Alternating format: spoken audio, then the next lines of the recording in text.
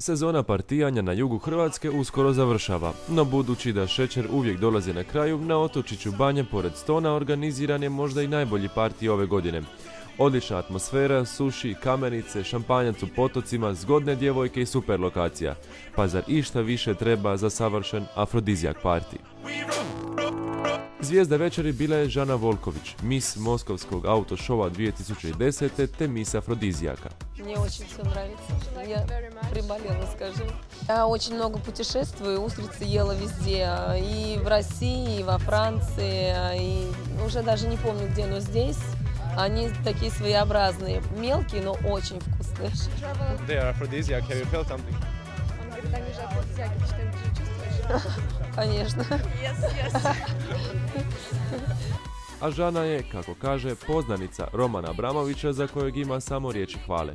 А, Он э, ходит э, как э, в дорогой одежде, дорогие часы, пьет дорогие вина, ест, конечно, самую изысканную кухню, но ведет себя совершенно свободно, а, как сказать, с людьми. Ну, м, да, просто общается с людьми достаточно. A gosti su uživali u najboljem sušiju te stonskim kamenicama. Za pravi suši je dobra friška riba i dobar riža. Modnom revijom Andreje Zvono te dugo čekanim plesom ljepotica, atmosfera je dovedena do usijanja. Nam, otkud ideja za ovako nešto? Pa sama ideja se vuče već godinama.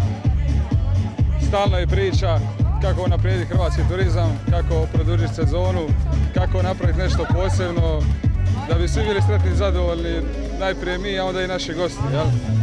I evo, Stonska kamenica, prekrasne naše djevojke, Hrvatice, Afrodizijak bar. Po planovi su da ovaj e, otok, ovo mjesto i ova zabava postane e, naša tradicionalna priča svake godine i da uveličamo s njom cijelu ponudu koju imamo u ovom dijelu Dalmacije. Ovaj otočić uskoro bi mogao postati glavno okupljalište selebova, a do idućeg partija poklanjamo vam najbolje kadrove sinoćnje večeri. Uživajte!